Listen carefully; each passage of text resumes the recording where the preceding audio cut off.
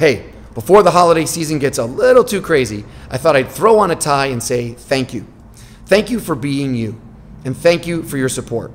In case you didn't know, I started my website five years ago on Thanksgiving Day. And let me tell you, these past five years have been the happiest of my life.